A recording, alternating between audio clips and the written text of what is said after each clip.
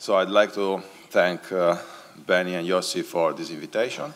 It's a pleasure for me uh, being here and giving this talk.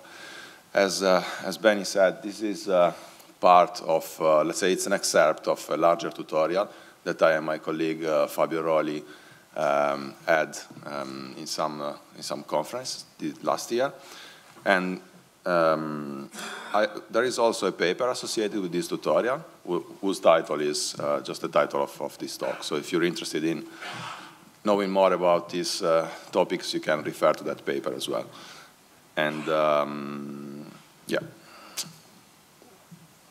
The, I'd like to start by pointing out, uh, by quoting this sentence from Andrew Ng, who is a prominent researcher in the area of AI and machine learning uh, where he defined that AI is the new electricity uh, for, for, for businesses and, and applications nowadays. And we have uh, recorded a lot of success in uh, different application areas like uh, cybersecurity, robotics, healthcare. We have cars that can see the world around them, so they can recognize other cars, pedestrians, stop signs, of traffic signs in general, these kind of things, right? We have uh, assistants uh, on our phones, like we have uh, Amazon Alexa, you know, Siri, you know, all the other ones, right? And everything seems to work uh, perfectly fine in, this, in these benign settings, right? So the main questions uh, we've been addressing, even before deep learning uh, showed up, was about what about the security of these techniques, right? Or about security of machine learning in general. Now, one may think that this area uh, was born in 2013 or 14 with the advent of deep learning and this phenomenon of adversarial examples, whereas uh, personally I started working on this topic back into 2007 and 8, where I was doing my PhD. And the very first paper dates back to 2004 uh, with an application of uh, trying to bypass um, spam filters out using text classifiers. So this dates back much, much earlier than um, 2013 or 14. And in this tutorial, I'll try to uh, bridge this gap between these two apparently different areas of, of research. I mean, adversarial machine learning and the security of deep learning, okay?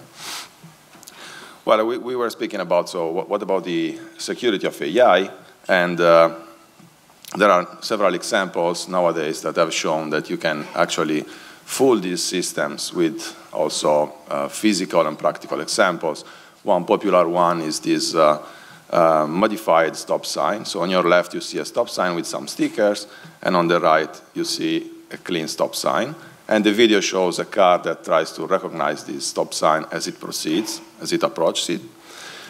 And uh, as you will see, as you can see now running the video, on the left, uh, there is an incorrect prediction. So the stop sign is recognized as a speed limit for most of the frames that are acquired, while on the right, the prediction is correct, right? Uh, this is one example uh, of how you can fool this kind of algorithm for recognition.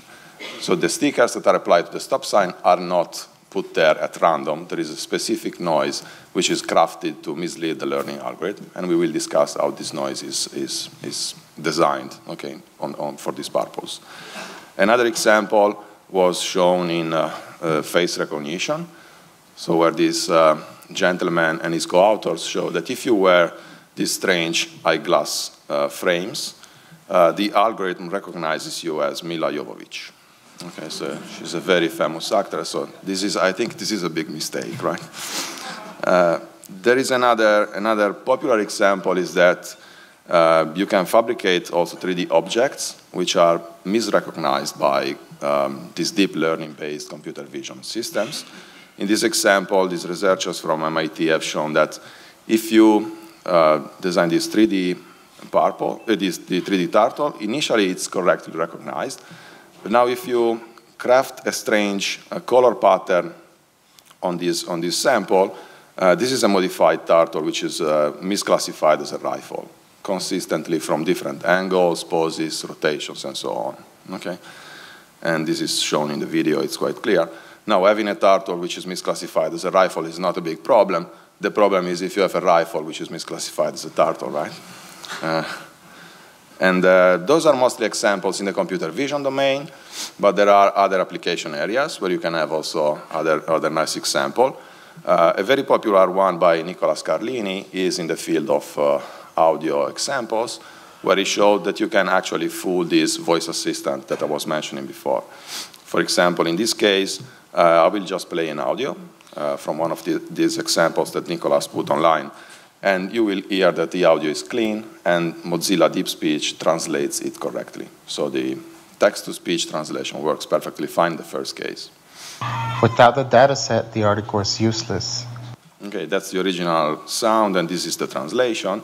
And now what I will play is an adversarial examples where you, you can hear just a little bit of background noise, but as humans we can still get the same message. And then I will show how this is translated. Without the dataset, the article is useless. You see, it seems the same, but there is a little background noise if you, if you pay attention. And the translation is, okay, Google, browse to evil.com. And in this case, you can actually decide uh, whichever sentence you would like to, to get out of this audio, okay, based on the noise that you add. So it's completely uh, on the end of, or in the end of the attacker. We did also another example, and I think also Benny have a, mm, probably a similar paper on this, where we showed that you can also fool um, convolutional neural networks or deep learning in general when it learns from uh, raw data, um, from, raw, from binary data.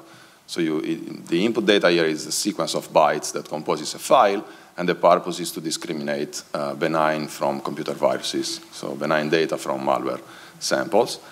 Uh, there is this network which is called malconv, which basically learns from these input bytes uh, to distinguish between these two classes, and it works fairly well on, on, on some, some reasonable data sets.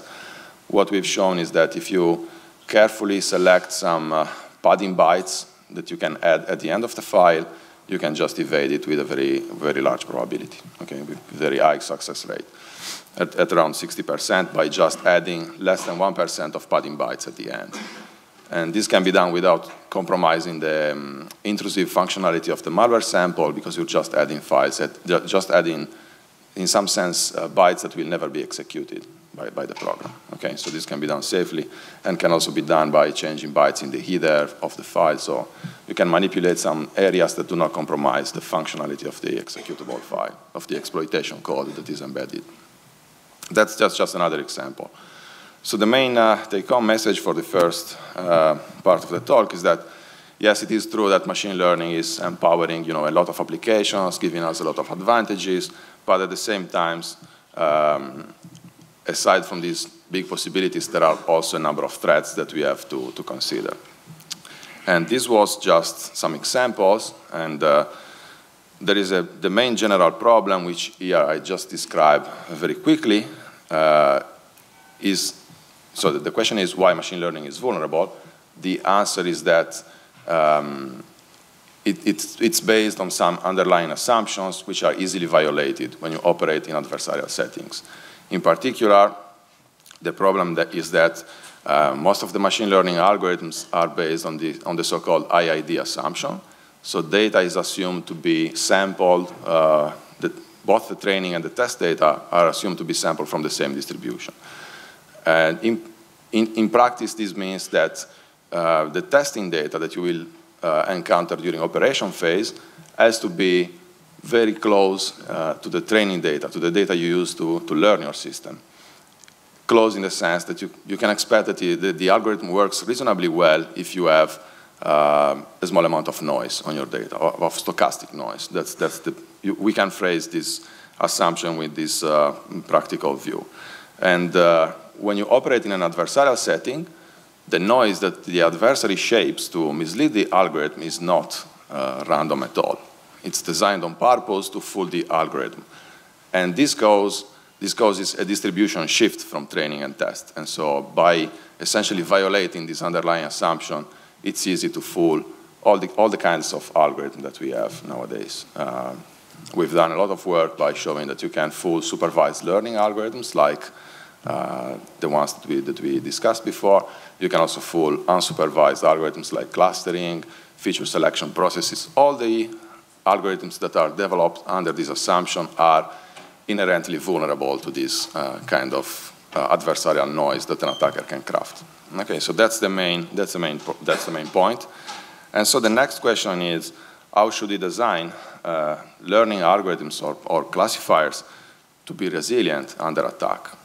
Okay, and here, of course, the main notion is that we cannot use the classical paradigm, but we have to use, uh, let's say, we have to mimic what is, what is done in, in, security engineering or in other areas. So we have to bridge the gap between machine learning and the, the research that is often done in, in security. And so the main notion that you can find there is the notion of the arms race between the defense system and the attacker, right? So um, you have your, when you put your system into operation, then you will have an attacker that can analyze the system, devise and execute attacks against them, against it. And then from the defender point of view, you can look at the attacks that you received and try to patch the system in a reactive way. So that's the reactive arms race cycle. and what we should also do is trying to proactively anticipate the attacker, which means we, we should ourselves as system designers, we should impersonate the attacker, so try to figure out which are the potential ways uh, that an attacker can use to mislead our learning algorithm. Okay, so the specific machine learning component that you put in your system. And uh, to this end, you have, you, you can, you, you need some tools, right? You need a methodology for, to design to figure out which are these potential attacks and how to craft them. And in particular, you need to create a model of the adversary, which essentially is a threat model for your specific application case. And then you need methods to simulate the attack. In this way, you try to be, as often done in security, you try to be one step ahead of the attacker and try to anticipate potential attacks. Right? This is, and this can be done at a level of, uh, at a more theoretical level, at, at a simulation or empirical level, depends on the on the approach that you, that you pursue. And so we can basically, in, the, in, this, in this kind of research, we like to phrase this uh, using these three metaphors. So uh, one is know your adversary, which amounts to constructing a model of, of attacks that you can use to simulate attacks against your system. Being proactive means simulating the attacks and measuring the performance of your system under different attack scenarios that you can think of. And then protect your classifiers is about designing defenses against these potential attacks. Um, so the, the, tutorial is organized uh, along these three lines. So in the first part, I will just describe how uh, we can model attacks against machine learning algorithms. Okay, so that's the uh, first rule: know your adversary. what we try to do is to systematize this model across the years. So there has been some initial research from uh, a group in Berkeley at around 2006, 2010. Then we did also, uh, we built on top of that, and in the end we agreed, let's say, on, on more or less the model that I'm presenting today, where you have three main components. So we have to make uh, assumptions on what is the goal of the attacker, what's the knowledge that he or she has about your system, and how we can, he or she can manipulate data to reach the goal. Okay, now in this model, um, this methodology suggests way that you can use to reason and think of potential attacks. And at the end, I will show how to, let's say, put all together to have a consistent view. So regarding the, the attacker's goal, um, it's, it's, the, the main objective can be to cause different security violations. Okay, so if we look at the security literature, this is mostly classified in integrity violations availability violations and privacy violation. Okay, this is known as the CIA triad in, in, in, security. So what does it mean to, when you think of these vulnerabilities or these security violations in the machine learning field? So integrity means that you would like to enforce a classifier to make errors without compromising the normal operation of the system. So the typical example you have is that you have a malware sample and you would like to have this misclassified as legitimate. Okay, that's, that's an integrity violation because it's not compromising, if it's not compromising the usage of the system for, for legitimate users. Availability violations, on the contrary, aim to purposely um, block legitimate users in using the system. So it's, it's, it's essentially a denial of service. Confidentiality or privacy violations amounts to um, having attacks that aim to get confidential or private information from the, for, uh, of the system or of its users. And there are attacks in which you can query the algorithm, for example, if it's provided as a service, you can query the algorithm several times and you can be able to reconstruct maybe images of faces of users that, that use the system if it's doing face recognition, for example, or there are these kind of things. So you can infer private information from the system. So that's for the um, main attacker's goal. You can make assumptions on the knowledge, so what the attacker knows about the system, and this is typically done by making specific assumptions of, on what the attacker knows about the training data.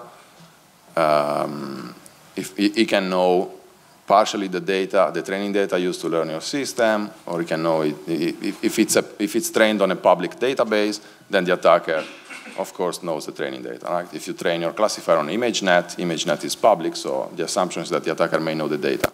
If you train your system on private data, then you should not assume that the attacker knows the data. You can make assumptions on the feature representation, so whether the attacker knows that you, which kind of features you use. Uh, for example, for malware classification, you can do static analysis, just looking at the code without executing the malware in a sandbox, or you can simulate the execution of malware and, and extract features from these dynamic analysis results. So and the degree to which the attacker knows these uh, features depends on, on the assumption that you, that you made. So he may know that uh, you're doing just static analysis, or he may exactly know the kind of features that you extract, right? So there are different, different there is a different spectrum of uh, knowledge that you can assume here. And then there are assumptions that you can also make on the learning algorithm.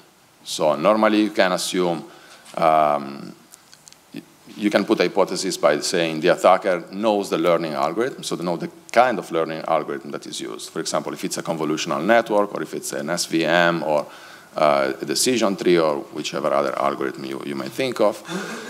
If, if he knows, the, for example, the architecture of the network, if he knows the hyperparameter settings, for example, uh, the amount of regularization that you use to train your algorithm, up to the point where the attacker may also know the exact parameters that are learned by your classifier, okay? So if the attacker knows everything about the system, we are in the case of perfect knowledge attacks. And this is also uh, the white box case. So it's the worst case for the defender when, when the, you assume that the attacker knows everything.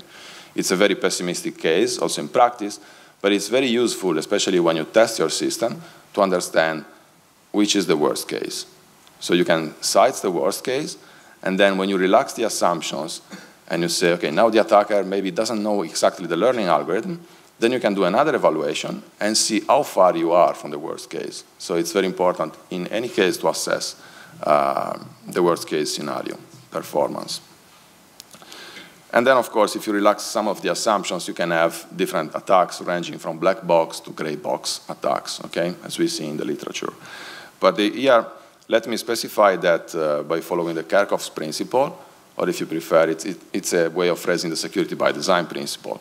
When we design machine learning system in adversarial settings, we should not make, uh, we should not assume attackers that are too weak. Okay, so normally it's a good practice to assume that the attacker knows, uh, maybe doesn't know the training data that you use, but it's reasonably uh, to assume that he knows the features that you extract from data and the kind of learning algorithm at least. Okay? So for example, if you use an SVM trained on this given feature, then it's good to assume this and assess the performance under this case. And as I said, more, more generally, it's better to have uh, different kinds of evaluation where you assume different attackers with different power and then you test this, the performance of the system against these different scenarios. Okay. As for the, for the capability, so the capability regards the fact uh, what, should what should we assume that the attacker can change? How can he manipulate data, right? This is the, the problem. As you probably know, machine learning algorithms consist of two main phases. They, there is a phase where they learn, so they are trained, and there is a phase there, there where, where they classify, so where, where you put them in the testing phase. And so, uh, similarly, you can assume that there are cases in which the attacker may be able to tamper your training data. For example, if you have a system which is retrained online, Uh, maybe you, you're training a network intrusion detection system, and there is a compromised machine that you don't know of. And therefore, the attacker can inject some traffic, some malicious traffic that, you, that ends up in your, in your training set, right? That's an example. And the example of attacks here are poisoning and backdoors that we will discuss uh, briefly later. Or in the, normally the attacker can also change the test data. So this means the system is already trained and now it, it's put into operation. And now what the attacker can do is manipulate its instances to mislead detection. So this is the easiest case where you have, for example, an antivirus which is running online, and then you have to modify your malware samples to evade detection. So that's the, the, the, the easiest case for the attacker. Of course, uh, this is not all about the capability of the attacker because there are other practical constraints. And luckily, the adversary, in, in many cases, is constrained. Otherwise, this game would be always uh, won by an attacker, always won by an attacker. Uh, since the attacker is constrained, it means that he cannot modi modify samples uh, without any constraint. So, for example, email messages can be manipulated by spammers, but they have, in some sense, to preserve readability uh, to convey the message to the human reader. So the attacker cannot delete the entire spam message from the, from the spam email, right? There is a constraint in this case, and for malware classification, it's even uh, easier to understand that you cannot modify the malware in an unconstrained way, because otherwise you would break its intrusive functionality. Okay, you, you would break the exploitation code and the exploit doesn't work anymore. So there, there are some constraints which can be formalized uh, in some cases. Typically, uh, what you do when you assume that the attacker can uh, tamper with the training data is that you assume that he can only manipulate a small fraction of your training points. Okay? In the example that I gave before, if you take a network intrusion detection system, it's, it's likely that you may have only a small portion of the traffic that can be manipulated by the attacker. Because if the attacker can control uh, the majority of your network, then, I mean, there's, there's no game, right? And uh, for the testing phase, as I said, this set of constraints can also be encoded um, more formally. So for example, um, what, what, what is typically done is to, form, uh, the, to assume that you can modify some, some parts of your, of your samples. In, part, in particular, for example, for spam emails, or in the case of, of classification of spam and legitimate emails, you can assume that the attacker can change a given number of words in each spam. Okay? And this can be formalized by um, defining a feasible domain in your feature space. So if the feature space, for example, is just the presence or absence of words in emails, so you have a dictionary of words, and it's, uh, for each email you have zero or one, uh, meaning that the, the word is not present or present in the, in the current email. And now if you want to count how many words are changed, you just compute the mean distance between these, uh, these two vectors, right? And this can be formalized as, as for example, an L1 constraint in, in feature space. And then this is what you get. And again, here, which kind of assumptions should we make on the attacker's capability um, is again a matter of uh, approaching the problem from a security by design perspective. So again, also here we, we, suggest to do worst case evaluations where the attacker can manipulate um, significantly the data and he can manipulate the data in different ways. So for example, in the case of spam, what we are suggesting is since we don't know how many words will be changed, we have just to run the evaluation against a different number of, of uh, uh, modified words in each email. And then I will show that this will lead us to design the, what we call a security evaluation curve. So a curve that shows how the performance of the classifier change as soon as the attacker gains increasing power or increasing knowledge about the system. Okay, so we will, we will develop uh, attacks of increasing power and, and, test the system against it. And this will be uh, clear uh, later on. Okay, that was roughly the description of, of the model. Of course, here I didn't put any equations, but what you can do is also uh, write all these things in a more formal way. And in the end, the goal is um, to make different assumptions on the various components of the model, goal, knowledge, and capability. And at the end, depending on the assumption that you make, you will get uh, an optimization problem that the attacker has to solve to craft his instances. Okay, so I will clarify this uh, as we go on. with, with practical examples.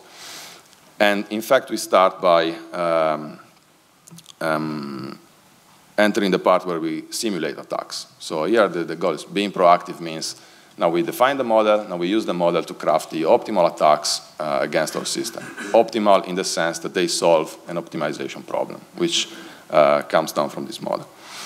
So now we are, I'm, I'm, just, I just want to give you a sort of historical perspective on how we get to the idea of crafting these attacks uh, around 2012, 13, and, uh, and then I will introduce the problem, the, the optimization problem.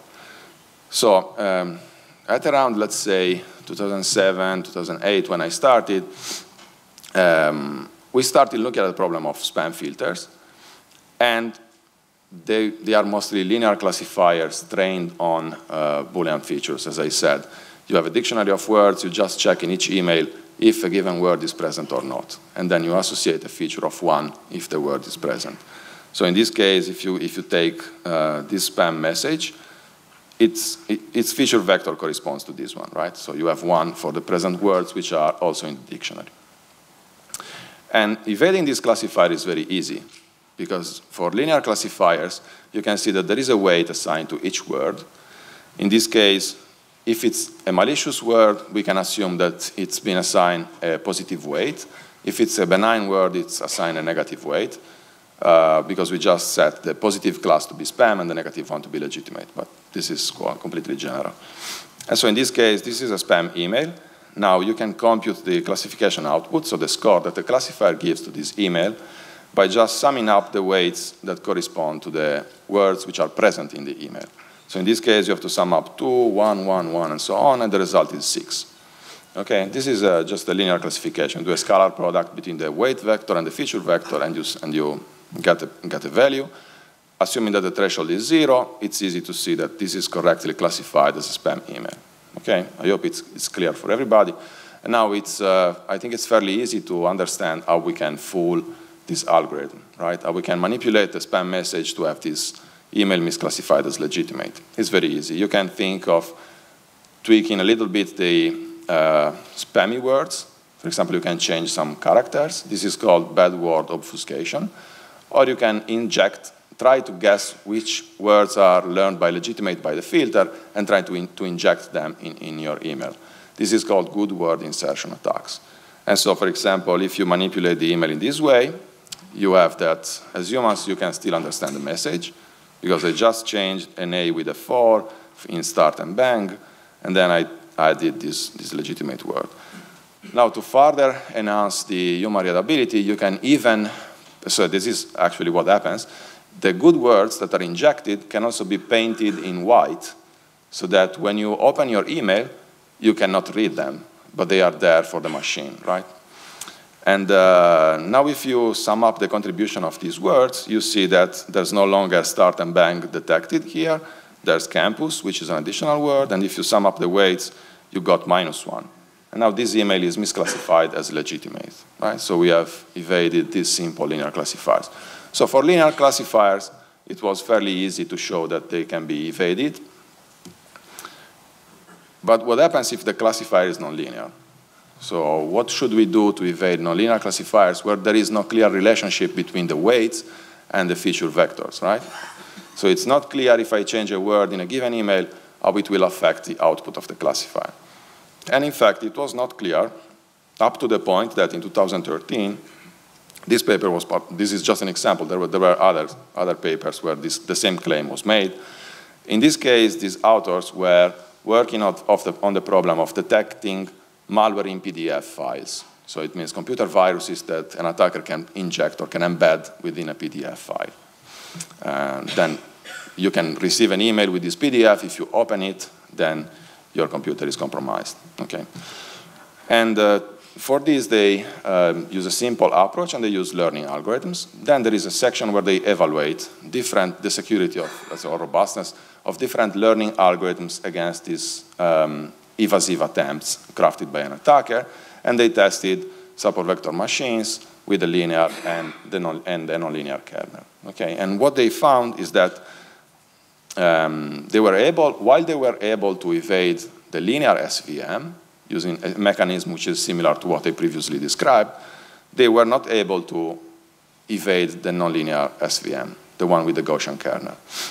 And in fact, they state that uh, they were only able to evade it for a tiny fraction of malicious samples, and they do not have a clear explanation for that, but they believe that uh, the complexity of the classifier made it more secure against these uh, evasive attempts. So the reason, or the, the, their explanation behind this improved robustness was that uh, the complexity of this feature mapping that this classifier learns from input to output space was the key to have uh, a more secure classifier. Okay, so that was their main point. And this was published on, uh, I think, NDSS, which is anyway a, a top tier conference in computer security. Okay. So uh, when I read this, uh, since I knew these guys uh, from before, because I was working with them on another problem before, I called them and I said, I'm not sure this is, uh, this, I suspect that there is, there is a, this claim is, is overstating uh, the security property of nonlinear algorithms. And then we reasoned on that and we came up with this idea, which was inspired from what we did for linear classifiers. So for linear classifiers, what was the goal? The goal was uh, we have an output, so we have the score of our classifier, which is positive for the malicious class. And then the attacker manipulates the data trying to reduce the value, right? Well, and then we can formalize this. So the goal of the attacker is minimizing the classifier output on the malicious class. So g of x is the malicious, maliciousness of your sample. And it can try to reduce this value, minimize it by changing the values in x, which is your sample. So x prime here is the manipulated sample. So if you look at the problem in a simplified space, it's like you have an instance x, which is correctly classified as malicious in this space. Okay, so red means malicious, blue means legitimate. And now, of course, there are constraints of in the manipulation that, we, that are depicted here with this feasible domain. For example, if you bound the number of words you can change in spam, you have a similar constraint. But for example, for PDF malware, you can assume that you can only inject objects. That gives you another feasible domain with, a, with another shape. It's, it's, it's, again, a very easy constraint, very convex and, and easy to, to deal with. And so this is the formalization of the problem in the end. You aim to minimize the score subject to manipulation constraints, okay, which are bounded by this parameter dmax. dmax can be the number of words that you modify in your spam or the number of objects you're allowed to inject in your PDF file. And uh, once you see this problem, this is, uh, from an optimization point of view, this is a nonlinear constraint optimization problem. You can solve it with a plethora of algorithms. The easiest one are the, the, three, the easiest one is the gradient descent, right? So you compute the gradient of the function, you manipulate the, the, sample along this direction, and eventually you find a local minimum of the problem, which ideally evades detection. And in fact, if you run a gradient descent-like algorithm here, you find this kind of path. So the x prime point that you find the solution is now uh, in the blue space, right? So it's misclassified as legitimate with the highest possible confidence from the classifier. Confidence in the legitimate class, of course. Uh, now, the interesting thing in, in, this, in this, paper was that uh, gradients can be easily computed for many learning algorithms. And this kind of gradients, the reason is that these kind of gradients are basically the same that you use for training the algorithm. Okay, so you, it's essentially the same gradient times just another little piece at the end. And so for, many, for all the algorithms that you can train with gradient descent, then you have this, you, you can compute this gradient. At that time, uh, TensorFlow PyTorch, they were not really popular, so we had to compute the gradients by hand in the, in the old way.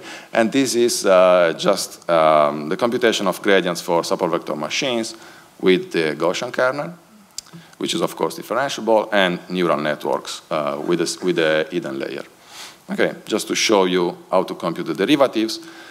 And then this can be applied uh, in our paper, we applied this to MNIST images and PDF, and the PDF malware detection case. And this is just an example of the application of this algorithm to the MNIST images. In this case, the problem was to distinguish between threes and sevens. So it's just a two-class uh, case. And the, the first digit is the original sample on your left, and then the one on the right is the digit slightly manipulated by the attack algorithm and misclassified as a 7. And as you can see here, surprisingly, this modified 3 does not even uh, resemble a 7 at all, right, for us. It's just changing a couple of pixels. Just changing a couple of pixels is enough to, to evade the detection of the algorithm.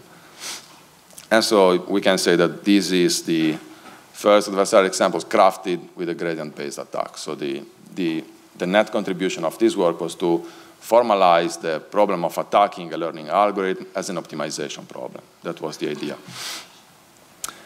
At this point, one may argue that uh, in this case, we are too optimistic because we assume that the attacker knows everything. So in this case, the algorithm is known, the parameter, the training parameters are known, so I know the weights that the SVM gives to the to the to each pixel here, for example. And then one may say this is too this is too trivial for the attacker. So what happens if the attacker doesn't know the learning algorithm, or at least he doesn't know exactly the parameters that the classifier has learned after training? Well, in this case, uh, by under this assumption, what the attacker can do is, in, in many practical settings, is collecting some data, ideally from the same distribution of the data used to train the real classifier. For example, for MNIST, you can assume the attacker can have a different partition of, of the data set, so you can, you can collect some other examples of threes and seven. And then you have your, your own uh, data set as an attacker.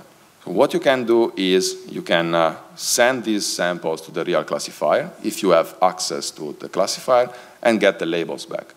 For example, let's say I want to um, mislead the Gmail classification filter. I want to bypass the spam filter control of Google, right? So what you can do as an attacker to implement this mechanism is create yourself an account on Gmail and send email to your account.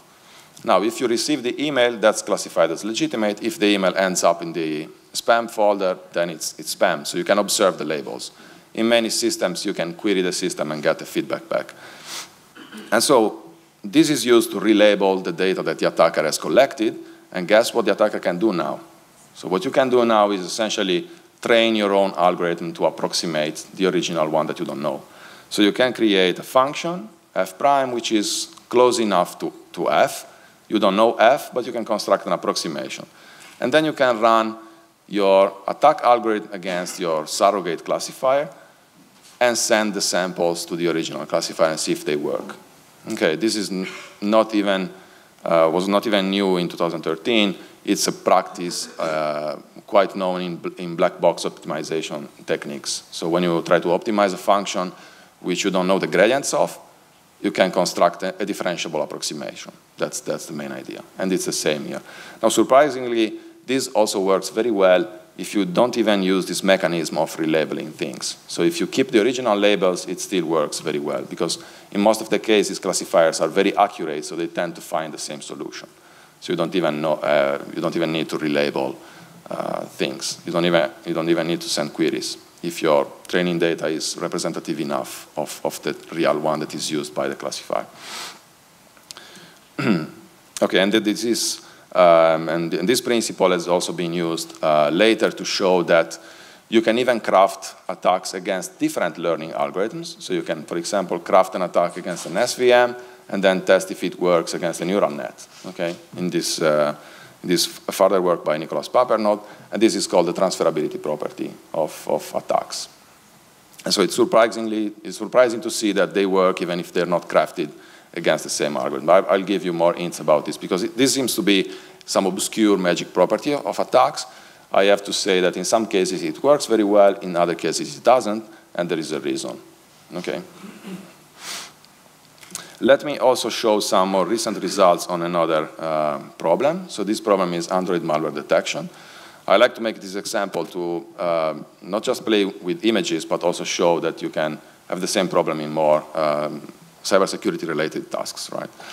So for Android malware detection, there are simple approaches to do static analysis. So you take uh, the APK, so the, the Android application, and you can look at which permissions are used by the application, with API, which APIs are called, these kind of things.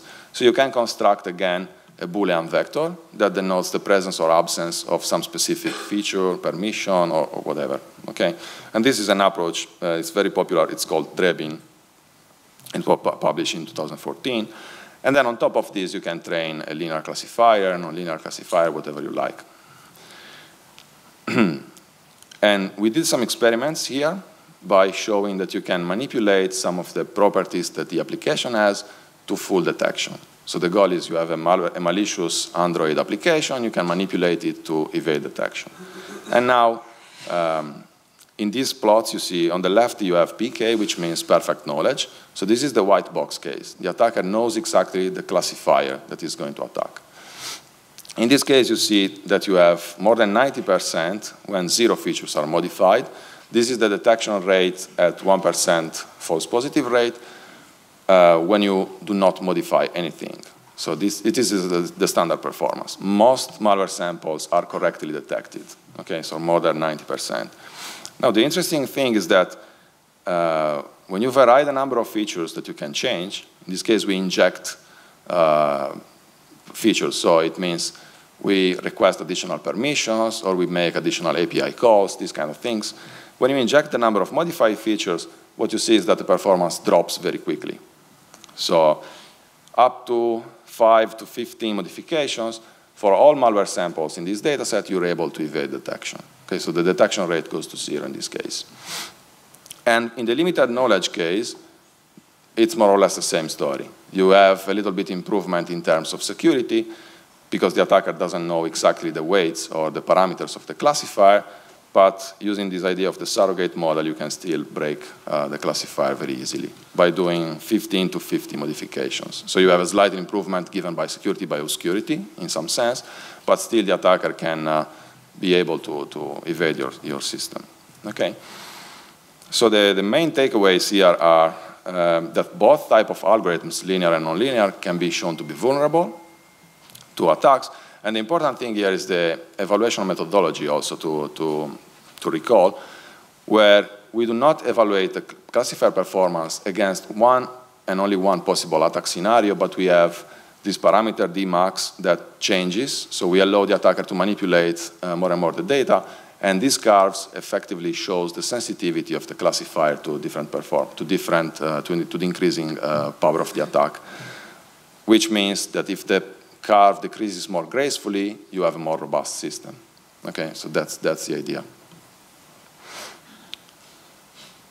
Now the question is why is machine learning so vulnerable? We, we roughly discussed that it's because we violate the IID assumption. That's the general uh, point. But in this case, in the specific case of Android, you can actually look at the, the reasons why it, it's, it's so vulnerable.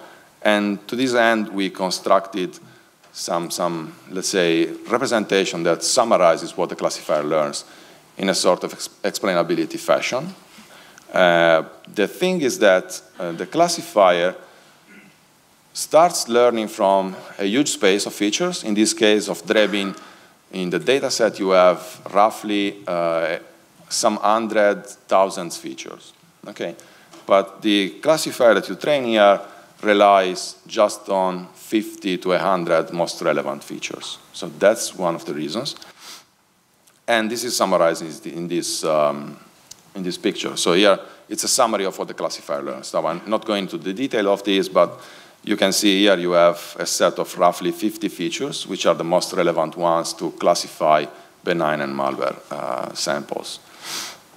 So th this is the first problem. So it's learning from a large, for a very large high-dimensional space, but it's learning just on a subset of features, so that the effective decisions rely on, on a small subset.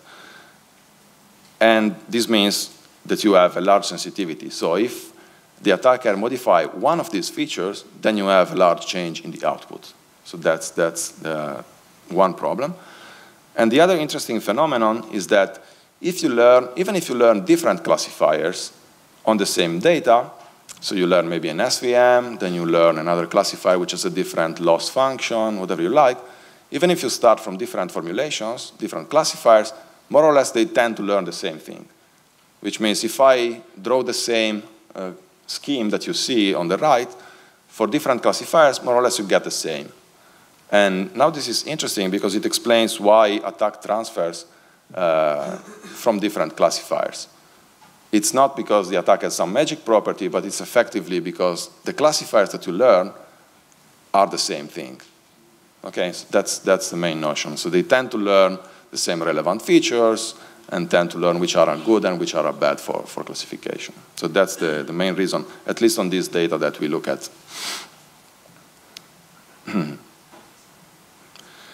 okay, now uh, I'd like to uh, discuss, um, okay, I'd like to discuss the, what happened in 2013, where these uh, problems became quite popular, and not only to the research community, but also to other stakeholders and the press. You know, we, we had a, a, the, there was a big uh, discussion on these issues when um, Christian Szegedy, Ian Goodfellow, and others from, from Google Brain discovered this phenomenon of uh, adversarial examples. So I'd like to um, tell you how essentially um, we found the same issue. So we didn't find this for deep nets, okay? So we, just, we, we are just looking at uh, standard machine learning classifiers and basic neural nets. But the idea of uh, attacking these classifiers with gradient-based attack is, is, essentially the same. But uh, the interesting thing is how they reach more or less to find the same phenomenon that we discovered. Because what they were doing was to look at the, uh, they were trying to explain what a neural, or understand what a neural network learns. So if you have a good classifier that is able to discriminate objects correctly, they were taking the image of a bus and modify it, trying to see when the classifier switches the decision. For example, when you have this bus and it's misclassified as an ostrich. So you expect that at some point the bus grows some feathers, you expect to see something like that, right? When, when, you, when you gradually modify the image. And instead what they found was that uh, uh, the, the, the noise that you are required to add to the image to flip the classification was very small. Okay, and this was very surprising because these classifiers are very accurate, widely used, and then it was really uh, impactful to show that you can fool them in, in this very easy and surprising way. Okay, so that was the, the main thing, and the formulation is uh, slightly different because they look for the minimal noise that you, that you are required to add to the image to have it misclassified as desired. So they're not uh, minimizing the output of the classifier, they're not maximizing the confidence of these examples. They are optimizing the noise by minimizing the distance, the Euclidean distance that you have between the two images. And in fact, this function here, f is the distance, um, uh, minimize r, r is the distance between the two images, okay? And this is a different label that you'd like to assign. And so in the end, they find this minimal amount of noise that uh, shows that you can flip the decision. this was shown with, uh, again, a gradient. So this problem was solved using, again, a gradient-based uh, algorithm. In this case, they use uh, LBFGS, which is a popular gradient descent technique with constraints. Okay, so the, the, solution algorithm, is, I think, is very similar. And after that, just I'm not going to cover all the literature of uh, adversarial examples in deep learning because that's huge. But I just like to mention that after this, uh, many defenses have been proposed to, to solve this problem, so detect these sort of strange adversarial examples at minimum distance, and then they've shown, these defenses have shown to be broken because essentially the attacks were not considering the defense mechanism. So if you then consider that you have a detector or that you modify the learning algorithm within the attack, then you can easily break it. Okay, so that, there's, again, this notion of arms race uh, pops up here as well between the research in the research community from, from attackers and defenders. And there are um, many, many different variants of attacks, but most of them are still based on the idea of um, using different gradient-based algorithms. Okay, so they are variants of the either the optimization problem formulation or the solution algorithm that you use. That's the main difference that you have. And the, just the most popular ones to, to cite them the fast gradient sign method was the first one developed by Goodfellow to show this vulnerability. Then you have the Jacobian saliency map attack by Nicolas Papernot, and probably the most effective and popular one is the Carlini and Wagner attack. Okay, that's just to mention a few, but there are at least, uh, I think, 16 to 20 different variants of attacks. And this is just to show you that uh, trying to keep pace with this uh, area of research is crazy. So this is an estimate by David Evans. It was done in uh, mid-2018. So I should check how many papers we had this year, but uh, the estimate for 2018 was more than 1,200 papers on the topics, on, just on the topic of adversarial examples, okay? This is, and many of them, I mean, you can spot that they make wrong premises from the title. So that's, that's, uh, that's funny. Um, okay. In the next part, I'd like to discuss, so, so far we've discussed attacks at test time, so evasion attacks, against two class classifiers. So we just have two classes, malware and benign, right? Here, I'm just discussing a case study that we did in a robot vision system, uh, mostly to extend the attack in the multi-class case. Okay, so where you have more than two classes. Now, the case that we consider is the, is the case involving this robot. This is called the iCub robot. It uses uh, AlexNet basically as a feature extractor and then uh, linear classifiers trained on top of this representation to distinguish different classes of objects. Now, the reason they use linear classifiers is simply uh, to be able to incrementally train the algorithm on, on, on, board of the robot. Okay, so you need something which is efficient and, and can be fastly updated. So you keep the network fixed, and then you just update your linear models on top of it. So you can do it online. The sets of objects that this robot is meant to recognize are these 28 different ones, uh, which are four different classes of laundry detergents, plates, uh, dishwashing uh, detergents, sponges, cups, and so on and so forth. Okay, those are the 28 classes that this one aims to recognize. And now we don't clearly have two classes. So when I want to have a sample misclassified as an attacker, I can have different options, right? And very simply, you can aim to have an untargeted attack, so an error generic um, attack, as we call it, which means if I have, for example, the image of a detergent, then I'm happy as an attacker to have it misclassified as any other object in the data. Okay? That's the untargeted or error generic attack. Whereas there are maybe cases in which I specifically want to have this sample misclassified in a specific class. And this is the error-specific case. For example, if I want my detergent to be misclassified specifically as a cup, I am in this case. Okay, so it's a different, um, it's two different variants of the attack where you can or not specify the target class. That's the main idea. To disambiguate the notion of error in, in multi-class cases. That, that's essentially the reason. And then it's not difficult to extend the attack from the two-class case to this case, you have to tweak a little bit the objective function. So remember the, the old case where we minimize just the score on the malicious class, right? In this case, we still minimize the score on the true class, which is this fk here, but at the same time, we try to maximize the score of the competing class that you have. And in this way, you can see that if you start from a blue point, this attack tries to minimize the contribution that the classifier gives to the blue class, whereas it tries to maximize the contribution to the red class. Okay, so the point is gradually moved from the blue to the red, to the red area. Now the red class here is just selected because it's the closest one to the blue one, to the blue point here in the, in the feature space. Okay, that's the reason. But if it can be any other class, I mean, typically the closest one is chosen by this formulation because if you don't specify the target class, the attack algorithm will pick the easiest one to, to reach.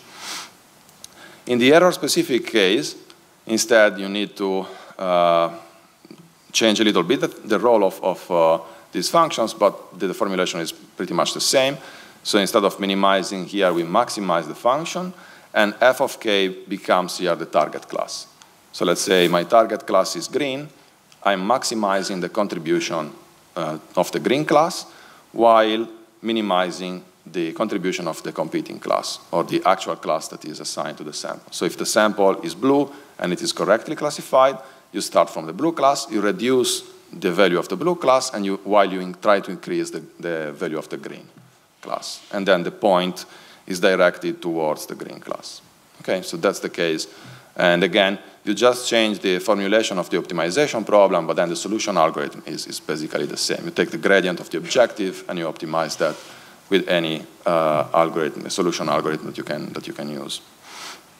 Gradients can be computed uh, easily in this case. Uh, you have the gradient of the classifier in the last layer. If it's linear, it's just a set of weights that, the, that the classifier gives to the features, and then you backpropagate it through the network. So this is the same mechanism that you use to train deep nets. Okay, you just backpropagate gradients. And you backpropagate up to the input space. That's the only difference. Instead of just stopping to update the parameters. And interestingly, we've also, this is just an example where you show that um, you have this detergent, you just change some pixels, and this is misclassified as a cup. 290 here is just the, the Euclidean distance with respect to the original unmodified detergent image. Okay, this is just an example. And this is a probably more interesting case where we bound the noise to be placed on the region of the label that you have on the detergent. Okay, so you see that there is a small rectangle, which is the only part of the image which is modified. You can do this with a simple box constraint. And now the algorithm will optimize only those pixels. Okay, of course, you need a larger uh, noise in this case because the attacker is more constrained. But nice thing is that in this case, you can ideally print a sticker, put it on the object, and uh, uh, have it misclassified in the physical world. Okay, because normally you cannot modify any pixel, uh, every pixel in, in, images, right? If, if it's in the background, it cannot be modified when you create the, the real instance. So that was uh, a, a simple example. Now I'd like to discuss quickly, make quickly a point on uh, how to counter this attack. Uh, as, I saw, as I said, there are many defenses that have been proposed, but here I just want to focus on two classes of defenses, which I think are those that work really, okay? And they are based, one is based on uh, robust optimization, which means basically you're trying to increase the distance that you have uh, from the boundary to the samples. So it's in some sense trying to increase the margin that you have, the input margin that you have um, um, in, in, the, in this classification problem. And the other one is based on rejecting samples. So it's, the idea is to give the classifier the possibility to say, I don't know uh, which object is this, or I cannot classify it reliably. Okay, this could be the case where you have a suspect attack. You can say, I, I, I'm not classifying this. This can be regarded as potential attack. Please investigate further, for example. Okay, so let's give more, some more details in the first case. So, uh, I mean, there is a bit of mathematical details here, but I think uh, we can keep it manageable. So in the standard problem, when you learn the classifier, you just have the minimization over W, so you minimize the loss function over the classifier parameters, right? This is the standard case. So if you ideally have this data set on your, on your right, you can see the green and the red points, and the line is a potential classifier that is just learned by solving the minimization of the loss. Okay, that's the standard case. Now, what the inner loop does here, it's simulating the attack, essentially. So the attacker is trying to maximize the loss on the same sample with respect to delta, which is the perturbation that you add to images. And this delta is bounded somehow by some constraints. In this case, if you select uh, the infinity norm of delta, it's like putting hypercubes on each training point. So you're telling the attacker can modify the points within these hypercubes. Okay? And they will be modified in a way that the loss is maximized. This is the inner loop. So what happens is that you shift the points towards the boundary, and this is the effect that you have.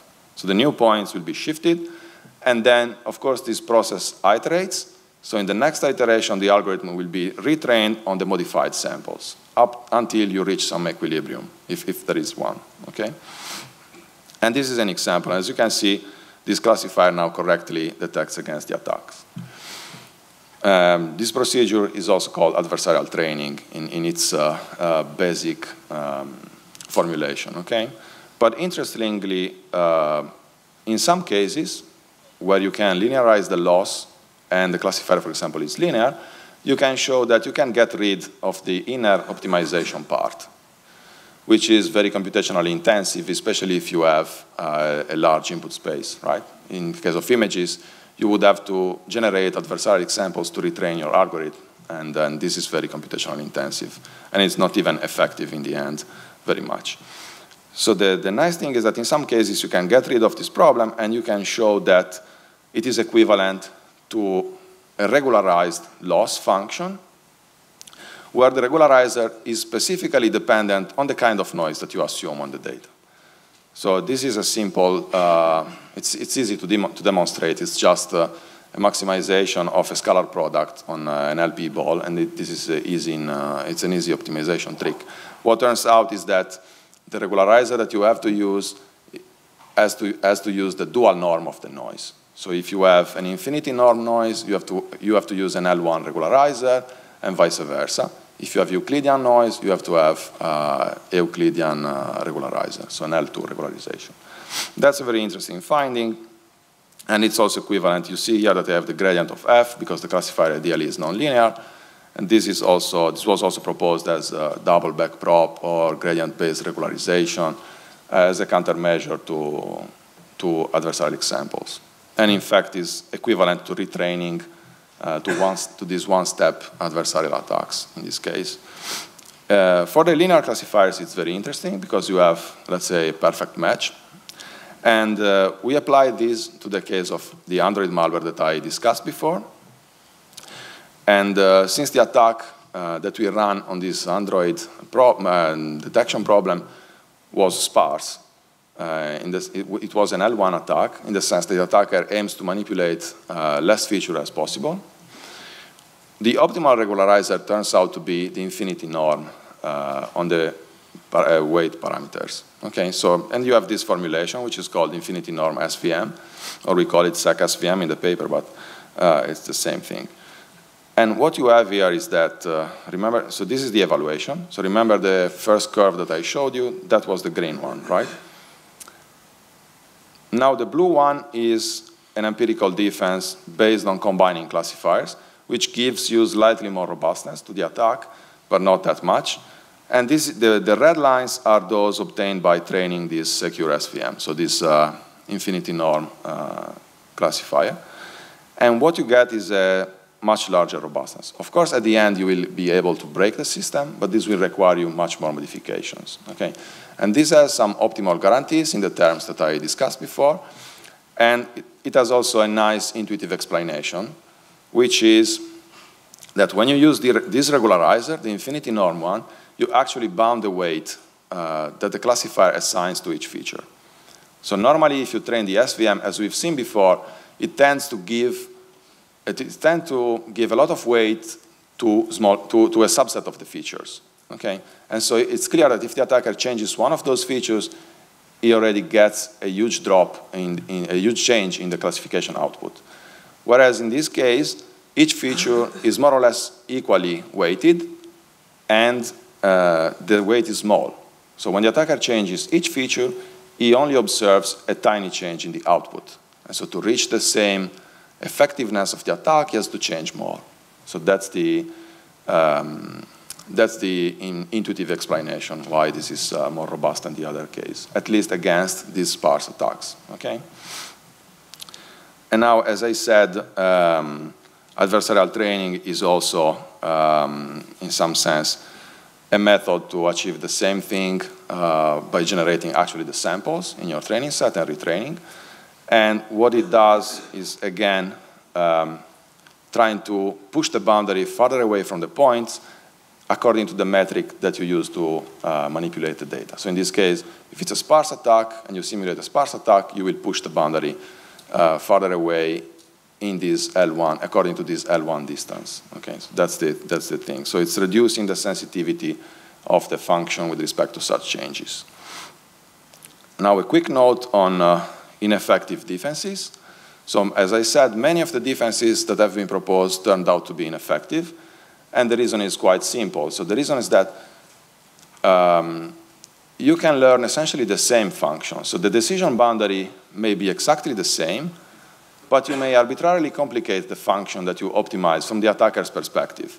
So if you, if you normally optimize this nice smooth function, so if you start from x here, and you take the gradient, you find easily an x prime that evades detection. So that crosses the x-axis in this case. Okay. If I have more or less the same decision boundaries, the, the boundary is still in the same position, but you complicate the function here, so the gradient is noisy now, it's easy for the attack to get stuck in a local, in a local minimum, okay, which doesn't evade detection. So all these defenses were not really effective in, in this sense. So they were not changing the classifier boundary, the decision boundary, but they were just complicating the function that the attacker has to optimize to get the attack. And then the attack algorithm didn't work. I mean, the, the, the, old ones didn't work against these defenses. But of course, if you find a way to smooth out this function by, for example, using a smoother approximation or averaging gradients nearby the point that you're optimizing, well, you can get again, you can go back to this nice smoother function that it's easier to optimize for the attacker, and then you find a point that also evades the complex classifier. Okay, so um, hiding this gradient information is not enough to improve the security of these, of these systems. okay. The, the other main defense I'd like to quickly talk about is uh, based on the rejection. Okay, so, and this is complementary to the one that we've discussed before. So on the one hand, you can try to improve the margin, uh, shift the boundary farther away from the points. In the other case, you can also say, instead of making a decision in every point in the space, I can have the option not to make a decision in some regions of the space. In particular, a classifier should only make decisions in, the, in regions of the space where you have enough training data, so where decisions can be made reliably. So look at this case, for example. Uh, if you have these blue and red points, you can find evasion points, right, uh, which are far enough from the red points, not even close to the, to the legitimate class. Okay? And this is because the classifier is making a decision in every point in the space, even very far away from all the training data that you have. Instead, if you apply rejection, ideally by enclosing the classes of your training set, well, you end up, uh, now this white space is rejected. So the potential attack, is, in some sense, is uh, identified. Okay? It's, it's just called reject option in, in classification. All the defense methods based on detection use the same idea. So you have an additional class where you expect the adversarial example to, to end in. And we apply this case to the iCub robot. And this is just an example, and this is the comparison. So you have uh, the green and the yellow is the standard um, mechanism without protection, without defense. You can see that as you increase the amount of noise that you apply to the image, you can evade this classifier fairly easily. And the red one is applying rejection, eh, just at the last layer. Okay, so I'm designing a classifier that encloses the classes, and if the point is far, far away from these known clusters, then it's rejected. This is random noise, not adversarial. This is adversarial. It's generated with the adversarial algorithm. And of course, at the beginning, you have uh, a smaller performance because you also reject some legitimate samples. But then if the noise is reasonably small, you can detect more or less all the attacks. But then the attack uh, gradually becomes more and more effective again. And the reason is that while you modify the point in the input space, it will reach the target class in the output space. So it will be exactly overlapped with the target class in the feature space. And this is captured very well in this image, in this paper. So you have two images which are close in the input space. So this is the original one and the adversarial. And if the perturbation is sufficient here, you end up constructing an adversarial example. So this is a car image which is within the cluster of dogs in the representation space. So you cannot reject this sample if you just look at the last layer, right? You have to inspect also the previous layers to see if you find a point where they can be distinguished. And this is the reason why this defense was only partially effective, right? Because we can detect things which are in between this space, but then if you have enough perturbation, you reach the target class, and so it's no longer effective. There's another slide or another paper where this is even explained in this way. And uh, here the idea is that the blue one um, this is the cosine distance between the original sample and the perturbed sample. The blue one is perturbed with the random noise. The red one is perturbed with this adversarial noise. And this is happen what happens across the layers of, of, a network. As you see, the random noise is, is eventually smooth, smoothed out, and so you get the correct prediction, where the, random, the adversarial noise is amplified across the layers. And then here you can see that in the last layer you can spot it, but you can also spot that there is a noise in the previous layer. So ideally, by applying this idea of rejection in previous stages, you can probably further improve the defense mechanism. And there are defenses based on this idea that work and show that you can, to fool them, you eventually have to create examples that are more, uh, more similar to the target class, okay, which is the behavior that you would expect. Now, uh, I think we are running a bit out of time. I'm running a bit late. So we also have a demo if you'd like to um, test how um, classifier works in, in, this simple case of MNIST. So if you connect to this website, you can, you can make some trials. You can select a digit uh, from any class and modify it with a different perturbation and see what happens uh, to the output probabilities of, of the algorithm. And interestingly, if you increase the perturbation a lot, you get completely noisy images, which are misclassified with very high confidence in the target class. Okay, so you can, you can try this by, by yourself.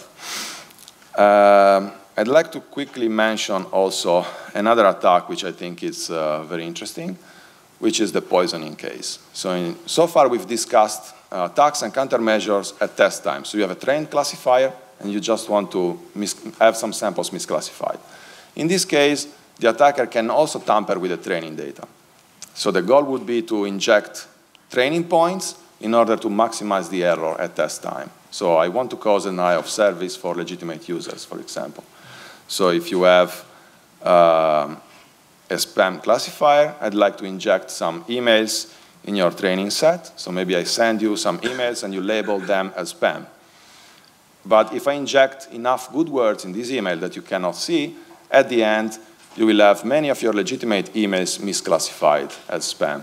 And so this, this will cause a legitimate uh, denial of service in, in your case. This is just an example, but more formally, you can think that you have a classification problem. So this is an SVM trained on this data, and the classification error is 2%. And of course, the classification error is evaluated on a separate test set. Okay, so it's not evaluated on these points. It's evaluated on a separate test set.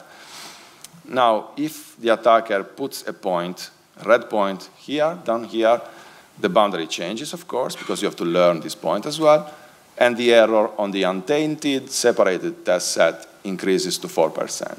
This is just an example. What we want to do is to find the optimal attack point. So the red point, XC, that will maximize the error on the, on the test set. So you can visualize the objective by essentially changing the location of XC in all the space, learning this point together with the other ones, and evaluating the error on a separate test set. If you do that and plot the error, that's what you get. You get basically no change uh, if you add a red point here, because this is learned as a reserve vector, so the SVM doesn't change at all. If the red point is put on the other side, you see that the error can increase. And the maximum is eventually in this place. Okay? This is the, the region that we want to reach. Now, this is the intuition. This can be formalized as a bi-level optimization problem, which is much more complex than the evasion case. And it's bi-level because you have two nested optimization problems. The outer one is the maximization of the loss on the clean data. Okay, so I want to maximize the error on the test set or on the validation set with respect to a training point subject to the fact that this training point is learned by the classifier. So the inner problem is the training problem of the classifier. Well, to make a uh, short, uh, long story short, this is complex, but in some cases you can also solve this by gradient descent. Okay, so you can, the trick is you can remove the inner problem, the inner optimization can be removed, and you can use a set of linear constraints instead which are the equilibrium conditions of that problem. Okay? And in this case, if you're interested, you can, you can refer to the papers, but uh, you get a much more complex gradient. This is just an example for the nonlinear SVM. And what you see here in the right-hand side of the formula is that you are inverting the equilibrium conditions for the SVM, okay? And by doing that, basically, you can, uh, you can optimize these attacks with, with gradient ascent in this case. So it's much more complex because when you shift the point, you also have to account that the classifier changes. So the classifier is no longer fixed. If you change a training point, it's changing also the boundary.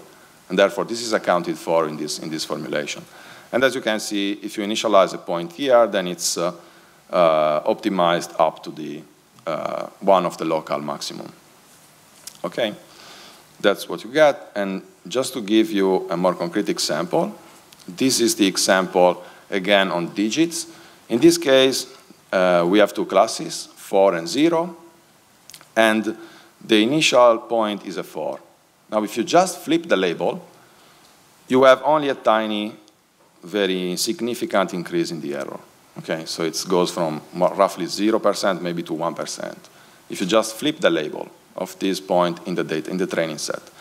If you optimize the same point, so now you start the attack, you optimize it with these gradients, you get this strange blurred image, which is a 4, and then there is a sort of shape of 0 in the background.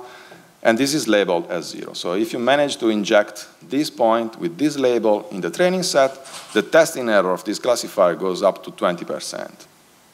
So this is uh, trained on 100 points. You have 784 features. And I mean, the impact of the attack depends on the, on the uh, specifics of the problem, so number of features, number of training samples. But in the end, this is a huge change uh, just by injecting one point out of, of 100, so it's less than 1%. Okay? You can, of course, iterate, so you can uh, inject more attacks, and in this case, with less than 10%, you can reach roughly more than 30% error in, the, in, the, in, this, in this problem at least. And we've made other experiments with other data sets. In some cases, uh, you, you have robustness. I mean, the system is robust enough. In some others, it's very vulnerable. It depends on, on the specific problem at hand.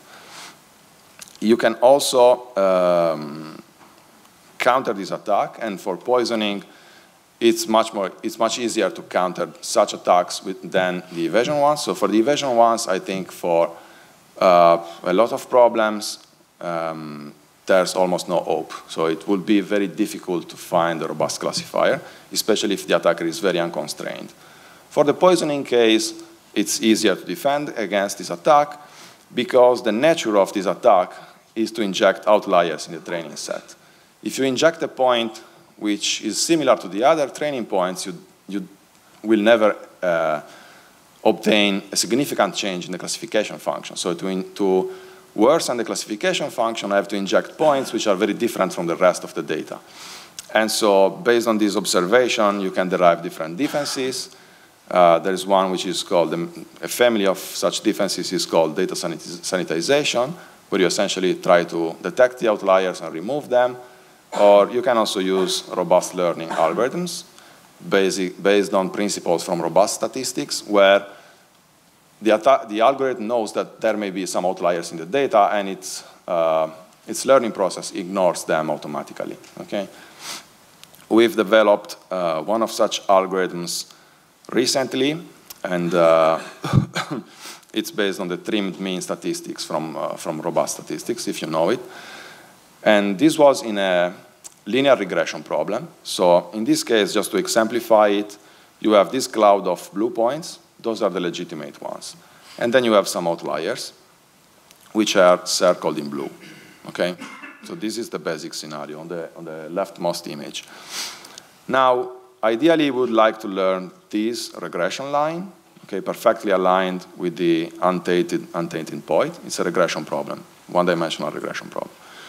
But what you learn if you, if you apply the standard regression is this line, okay, which is completely, let's say, offset with respect to the untainted points because there are outliers there.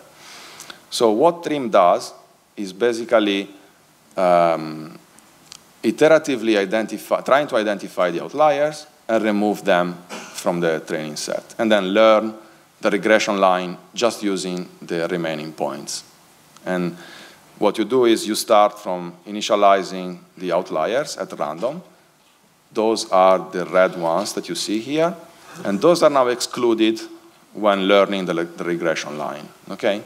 So you, more or less you get the same line here because at iteration one, because you just remove a set of random points. But now what you can do is measure the loss of each point with respect to the line that you fit and exclude those which are farther away from the line. And then if you iterate, in the end, you see that you can mostly detect uh, the outlying observations in your data. Okay, and so, so you can recover more or less the ideal regression line. And then we tested these on different data sets, and we, we found that uh, it works uh, fairly well. Uh, I think I'm not going to uh, discuss this, and uh, I just want to quickly uh, try to conclude. So these were just two examples. So we've seen evasion attacks, which are adversarial examples, if you wish, and poisoning at the training phase. And uh, this is just a recap of all the attacks that you can envision if you follow the model that I presented at the very beginning. Okay, so if you intersect the attacker goal with the capability of the attacker, you got six possible slots. Some of them doesn't make any sense, but in some other you can find different attacks. For example, if you wish to compromise integrity by manipulating the training data, which means I can now inject some samples, but I don't want to cause an error on all the test samples indiscriminately. I just want to focus on some specific points in your test set. That would cause just an integrity violation. And this is uh, encompassing all the category of attacks known as backdoors and uh, poisoning integrity attacks in general. Or there are attacks that you can craft to violate the privacy, which I'm not covering here. Okay? I had an example on poisoning, on uh, backdoors, but I, I, think we can, uh, we can skip it and leave maybe some time for question. And so you have the slide for reference.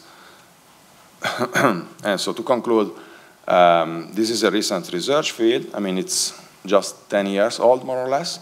And uh, I hope I, I, I, I showed you that there were mostly two parallel tracks, right? So earlier work was in the field of adversarial machine learning, and more recent work boomed in the security of deep networks area. And I hope to have convinced you that there are intimate connections between the two areas. And uh, if you want to know more, I, I refer you to this, uh, to this paper that, I, as I said, we have um, written uh, together with this tutorial. Okay, so you can find a complete timeline in this paper. And uh, that's all from, from my point of view. Okay, thank you.